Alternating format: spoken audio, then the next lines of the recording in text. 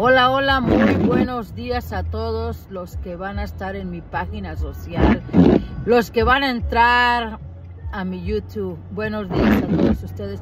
Bueno, hoy estoy aquí de mañanita, vine a dejar a mi pequeño a la escuela y dije voy a hablar un poco acerca de algo bonito, de algo que nos que a todos nos llame la atención. Había dicho que vamos a hablar de cosas con madurez.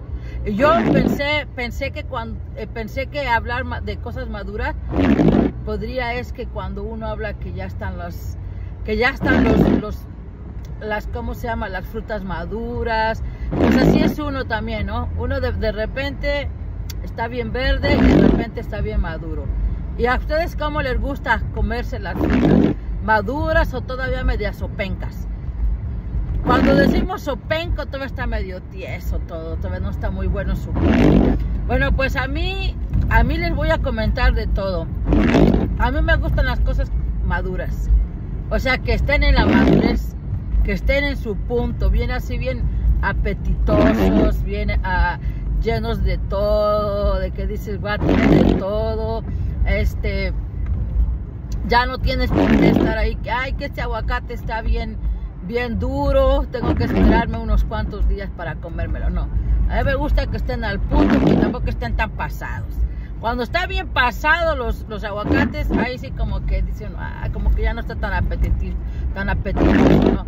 Pero bueno, así es todo esto. Hasta los seres humanos solemos estar en el punto o, o solemos estar todavía sopencos, dependiendo, ¿no? La edad, dependiendo también el cuidado y como nosotros queramos lucir.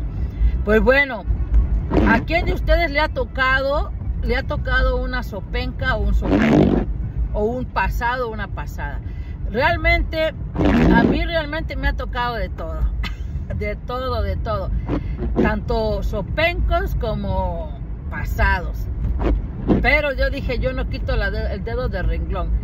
Sé que va a llegar un hombre maduro, en la madurez, que, que, voy a estar totalmente exquisitamente comiéndomelo como los tacos del pueblo, este, aquí bien, bien rico con, qué sé yo, un chile relleno y su aguacatito bien rico y su arrocito típicamente mexicano. A mí me encantan, ya me dio hambre, me encantan los tacos placeros mexicanos, que vas y están las señoras ahí con su con su arroz, con sus tortillitas recién hechas y, te dicen, ¿qué quieres señora? Y ya tú le pides, pues a veces a mí me gustaba comerme dos huevos con arroz y, un montón de rajitas. Ay, no, más riquísimo, riquísimo.